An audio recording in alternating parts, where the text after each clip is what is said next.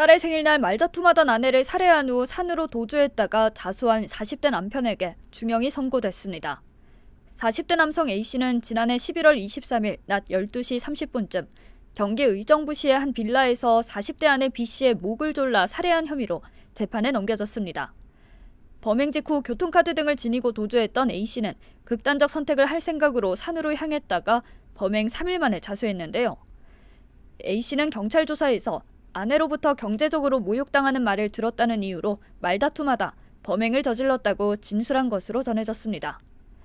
재판부는 살인 혐의로 구속 기소된 A씨에게 징역 15년을 선고하고 피고인은 피해자를 우발적으로 살해했다고 하지만 사망에 이르게 하기 위해 상당한 시간 피해자를 제압했다며 살인은 그 무엇과도 바꿀 수 없는 소중한 가치인 사람의 생명을 빼앗은 것으로 어떠한 방법으로도 피해를 회복할 수 없다고 말했습니다.